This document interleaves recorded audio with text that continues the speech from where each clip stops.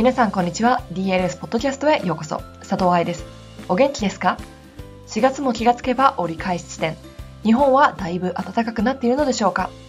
この時期の来日で一番気を使うのがお洋服。暖かいのか寒いのかはっきりしない時の方が多いですよね。その年にもよるし。冬季バレエ講習会の時は寒いって分かってるのである意味荷物を詰めるのが楽です。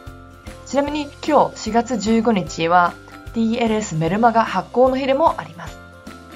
DLS のメルマガは月に2回1日と15日に出ていてそこでセミナーの最新情報だったり申し込み方法だったりをお話ししています。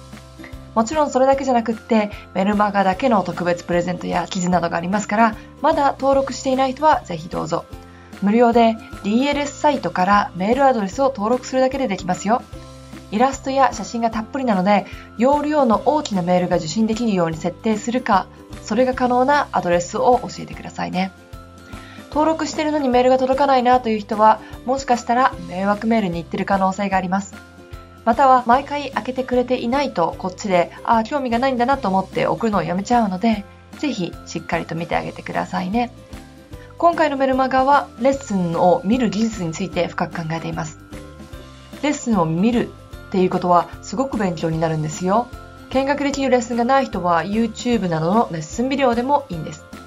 より多くを吸収するためにバレエを見る、レッスンを見るということについて考えていきます。さて、今日のポッドキャストの方はリハビリシリーズの続きでダンサーが怪我をする前に知っておきたいことというブログ記事をピックアップします。レッスン見学でもそうだけれども踊るだけじゃなくって知識を持つこと考えることって怪我予防だけでなく上達の早道になりますからそれを考えていきましょうね。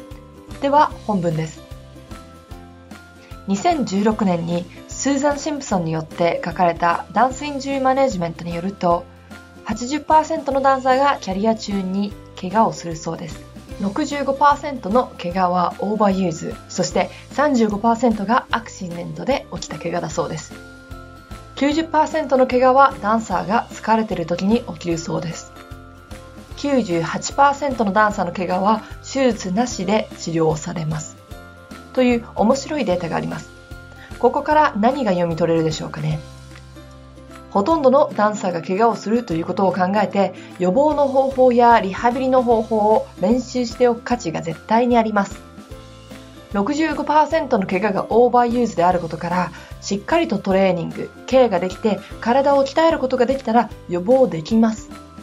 90%の怪我が疲れている時に起こるということから体力づくりそしてメンタルの強さや集中力も勉強しておく必要があります98%のダンサーの怪我が手術がいらないということを考えると体の使い方正しいリハビリでダンサーの怪我はマネージメントできるっていうように私はこのデータから読み取りますよってダンサーへの怪我のアプローチは鍛えること。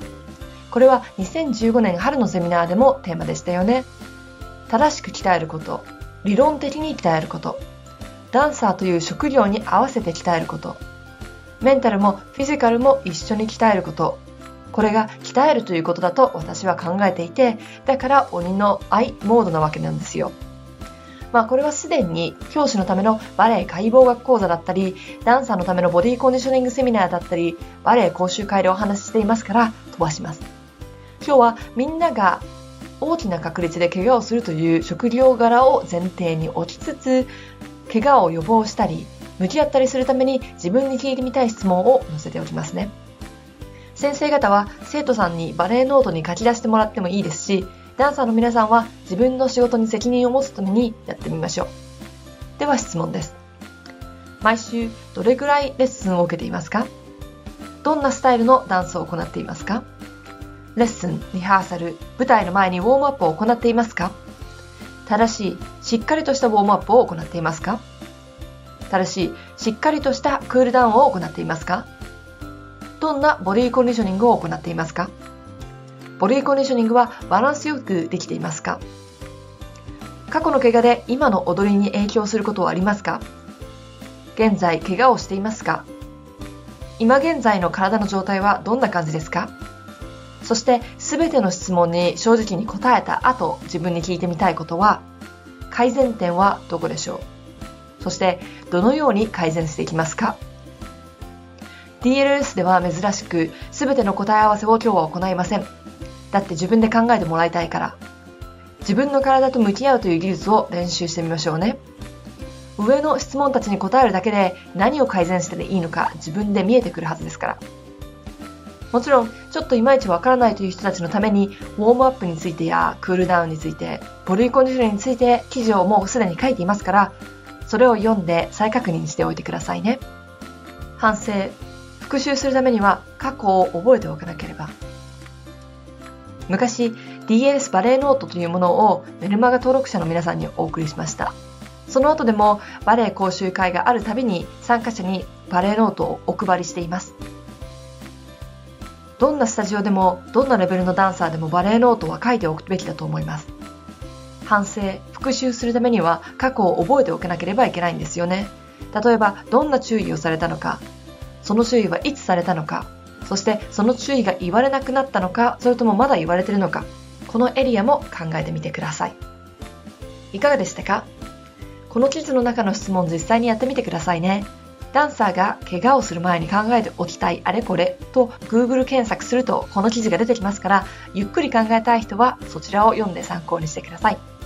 もちろん、この質問に答えるだけでなく、その後の改善点を探すこと、そしてどうやって改善していくかまでの方法を考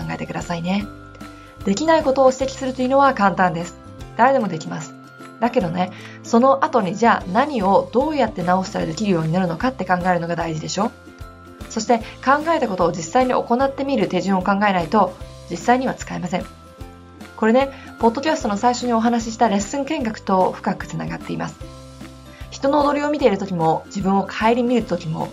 ただダメ出しをするのではなくってどうやったらできるようになるのかまで考えてくださいね。今日のポッドキャストはここまで。最後まで聞いてくれてありがとうございました。